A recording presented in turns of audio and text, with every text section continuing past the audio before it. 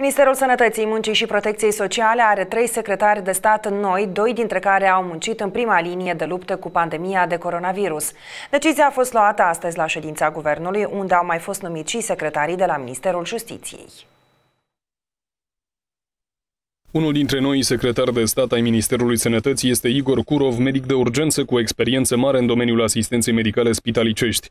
În prezent este implicat direct în acordarea asistenței medicale de urgență pacienților cu COVID și coordonează tot procesul ce ține de tratament, internare uh, și uh, aceasta de fapt va permite domnului uh, Igor Curov de a se implica rapid în activitatea ce ține de coordonarea în cadrul pandemiei COVID-19 la nivel de republică.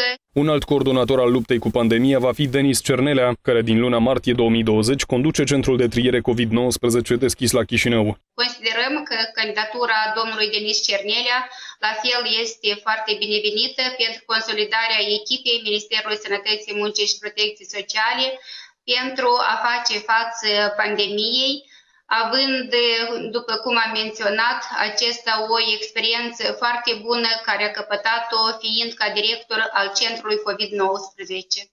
Cel de-al treilea secretar de stat la Ministerul Sănătății a fost numit Vasile Cușcă. În prezent, el ocupă funcția de șef al Direcției Politici de Promovare a Drepturilor Persoanelor cu Nevoi Speciale și va coordona în cadrul Ministerului activitatea care ține de protecția socială. În cadrul ședinței Guvernului au fost numiți și doi secretari de stat la Ministerul Justiției. Este vorba de Pleșca Alexandru, actualmente dumnealui este vicedirector la Inspectoratul Național de Probațiune, adică o, o structură din subordinea Ministerului Justiției și a doua candidatură este vorba de Tatiana Tverdun, care este șefa Direcției Avizare în cadrul Ministerului Justiției. Ministerul Sănătății a rămas fără conducere la începutul anului curent după demisia Vioricăi Dumbrăveanu, dar și a secretarilor de stat. Potrivit unei decizii a Curții Constituționale din 23 februarie, guvernul în demisie poate opera remanier de cadre până la nivelul secretarilor de stat stat, dar nu și a ministrilor. Astfel, în actualul cabinet rămân fără conducători trei instituții, Ministerul Finanțelor, al Economiei și al Sănătății.